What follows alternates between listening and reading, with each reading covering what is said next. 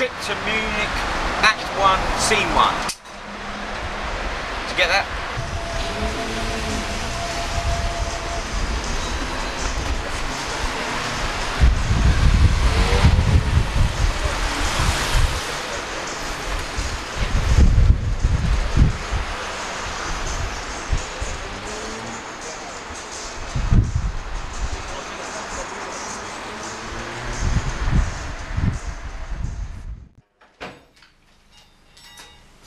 You better not be filming that, Philip, because if I've got this in mind, you know, bad for my image.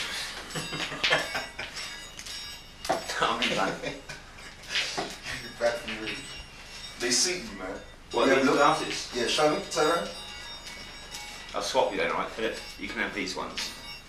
I don't know whether these suit me or not. What do you think, right? They, they do suit you. What, but these ones are they, they both suit you.